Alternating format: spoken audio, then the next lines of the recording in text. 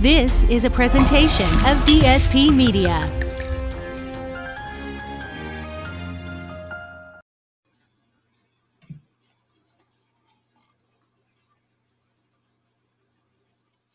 Hey, folks, it's Tito Jeff Thedoff at Fit Happens on Twitter if you want to find me there. The Buckeye Blitz. Uh, the Buckeyes enter the first week of a three game gauntlet hosting seventh ranked Michigan State. Uh, there's lots of talk about how the spread in this game, 19 and a half to be exact, is too big, but I think it's pretty close to where it should be. Did you know Michigan State's the worst team in the country against the pass? They give up nearly 330 yards a game through the air, and this week the Spartans are going against a Heisman Trophy candidate quarterback in the deepest talent pool of pass catchers in the country. Three Buckeye receivers are in the top eight in yards per game in the Big Ten. I don't envision Ohio State's offensive line having too much trouble with MSU's defensive front, but the running backs will be tested in pass coverage uh, in the past game. I think the Spartans are going to throw a lot of blitz packages at CJ Stroud. As long as he has time to throw, I expect a big day from the Buckeye offense. Not worried about that. Defensively, this will be the biggest challenge uh, for the Buckeyes this season.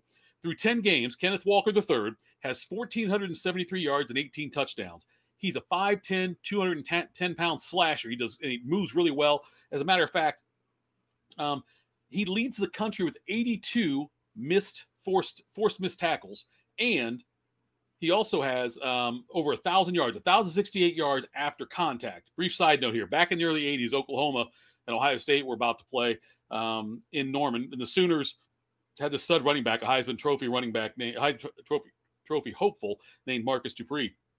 There's a great 30 for 30 on him that ESPN put out as well. Uh, but anyway, I, I, I, was buying all the hype. I was 12 years old. I was worried about Dupree, worried about the Sooners knocking off my beloved Buckeyes. And my father was the exact opposite. Um, he he just said, "Look, Dupree's overrated. The Buckeyes defense is better than people think." and uh, Dupree probably won't even finish the game. And my dad was right on all counts. Dupree exited with an injury in the first half, uh, finished with just 30 yards rushing. He fumbled once, and Ohio State won 24 to 14. My point in all this is that I typically fade big time running backs when they play the Buckeyes because it's now part of my DNA to do that thanks to Pops. But I am not. I'm not going to do that with Walker though. I'm not going to fade Walker. This dude's the real deal. Uh, Michigan State will try to keep the ball out of Stroud's hands by giving the ball to Walker a lot. Uh, you know, Michigan's got a good defense, and Walker shredded them for 197 yards in their win over the Wolverines. He's durable. He had 30 carries last week against Maryland. Uh, will he have more than 200 yards against Ohio State? No, because I think that the Buckeyes will get out to a big lead and force Michigan to throw the ball, which is something Michigan State doesn't want to do. Payton Thorne's okay at quarterback, but he does have eight interceptions, including seven uh, in the last five games, that at least one pick in each of the last five games as well. I expect Ohio State's going to pressure Thorne. They're going to force a couple of picks. I think it'll be close early, um, but I think that Ohio State will uh, be able to pull away and cover the spread. I think the Michigan State will try to give the ball to Walker a lot early on, and so he might get some yards that way. But uh, by the time the game gets moving, Ohio State, I think their offense is going to jump out to a big lead, and they're going to force Michigan State to throw the ball, which is something Michigan State doesn't do all that well. So I do think the Buckeyes cover. Um, I know Michigan, it's, it's, funny seeing the seventh ranked team in the country as a 19 and a half point underdog to the fourth ranked team in the country. This isn't like they're, it, it, this is a scrub team playing uh, Georgia or Alabama. This is a, a, really good Michigan State football team, uh, probably the second best team in the Big Ten, maybe the third best, but they're one of the top teams in the Big Ten, one of the top 10 teams in the country, I believe. And they just gave Mel Tucker, they're in the process of discussing a deal with Mel Tucker, which will pay him 95 million um, over 10 years. But uh, so it's it's a good team. It's just Ohio State's on a different level, and Michigan State's biggest weakness is that passing defense. And Ohio State's strength is the way they can spread the field with all these wonderful receivers they have. You saw what Garrett Wilson did last week. Um, you know, you you know what this uh, Jaxon Smith-Njigba and also Chris Olave what they can all do. So yeah, I think Ohio State does cover the spread. We'll move over to the hardwood now. Uh, the Buckeye men lost to Xavier, 71 to 65, part of the Gavitt Gavitt tip-off games. EJ Liddell led with 17 points and eight, count them, eight blocks. Um, and Meechie Johnson Jr. scored 14 in the loss. Xavier jumped out to a big lead in this game, jumped out in front early, and they never let up. The Buckeyes did have some chances down the stretch, but a couple of missed free throws and defensive lapses did them in. The Buckeyes now 3 1 on the season and uh, have played really just one complete game so far.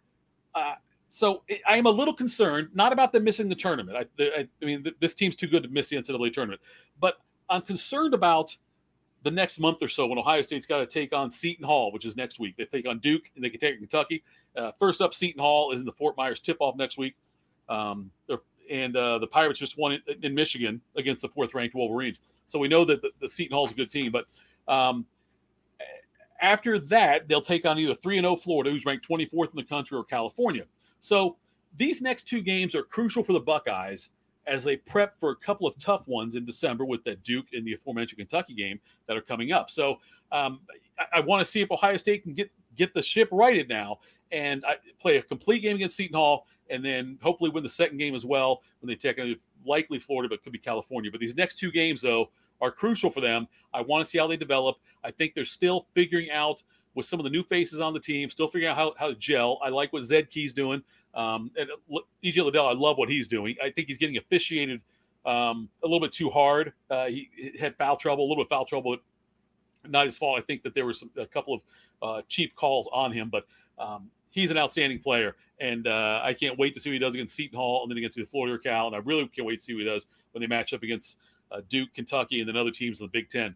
Uh, the Ohio State women continue their unbeaten string with a 94 63 win over Bowling Green. They'll take on Bellarmine next week. Um, but the OSU women off to a great start too, also ranked in the top 20. So um, they look good so far as well. Kevin uh, Kevin McGuff's team has, has, got things going in the right direction there. So that's it for the Buckeye Blitz. I'll check in tomorrow as soon as the Ohio State Michigan State game ends and give you my reaction on that. This is the Buckeye Blitz. Jeff Tito Thitoff at That Happens on Twitter. And uh, thanks so much for tuning in.